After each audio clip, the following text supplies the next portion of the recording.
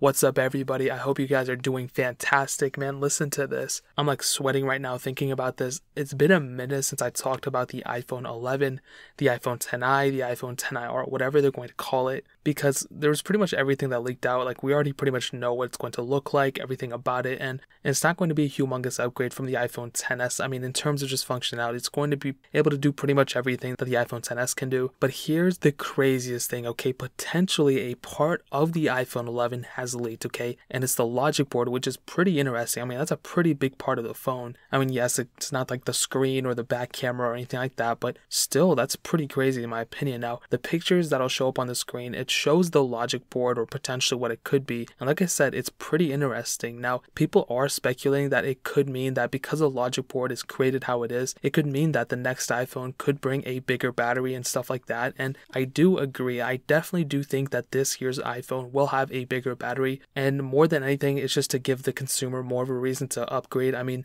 basically with the iPhone 10s and 10s Max, well, for the 10s, it actually had a smaller battery than the iPhone 10. And if you remember, if you were following me at that time, like I pretty much bashed it really hard about that. I'm like, man, why are they decreasing the size of the battery? That does not make any sense at all. And if Apple does that again for the second year in a row, then that's going to be really bad for marketing. People literally just going to circle around that thing and just blast that everywhere as they should. That's a really bad thing if they do that. So I personally do think it will definitely have a bigger battery. All the models straight down, even the 11R. I truly believe, regardless of the logic board, all that stuff. I was even saying this before. I definitely do think the newest iPhone will have a bigger battery, no doubt. But here's the bigger thing and why I'm even making a whole separate video talking about this. It's the actual leak itself and the fact that if this is actually real, somebody was able to gather a part and actually take a photo of it, whether that was in the factory or they smuggled it out of the factory, took it to their house and took a picture that way. Like, it's just a crazy thing to wrap my head around because if you know, as you probably already heard, Apple really started focusing down on security. I mean, they've always been secure, no doubt, but it's like they don't want any competitors or anybody having access to any of their parts, even if it is something like a logic board. I mean, to us, like the blind consumer, like we don't know. Like, I'm looking at the logic board, I'm like, okay, that's cool. I don't know anything about it. But for a competitor, maybe they can look at this logic board and be like, oh my God, this, this,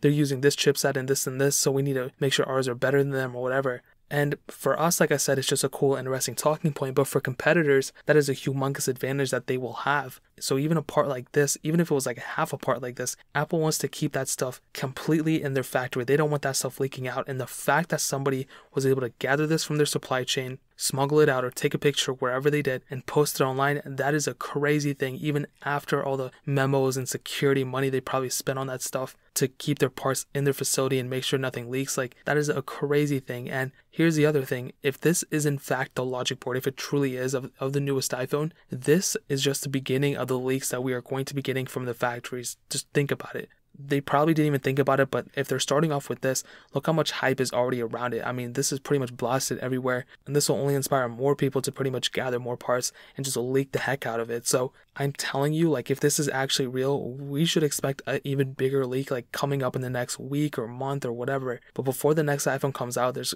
it's pretty much going to be leaked, like somebody's going to take a photo of it or gather all the parts and just take a picture of all the parts or whatever. Like something's going to happen. I mean, it's inevitable, which is crazy because like Apple is spending so much money. Apple is like one of the biggest companies in the world, and even they're like susceptible to like leaks and stuff, which is insane. So ultimately, I think, you know, the leak itself, like the logic board, okay, that's cool and everything, but the outcome could mean even crazier things. And the fact that somebody was able to even leak a part like this in the first place is crazy. And if this isn't truly fact, the logic board of the iPhone 11, I'm pretty sure the whole thing's going to leak out even before, way before the next iPhone release, which is crazy. But man, that is pretty much it, man. Let me know what you guys think about this. This is some crazy stuff.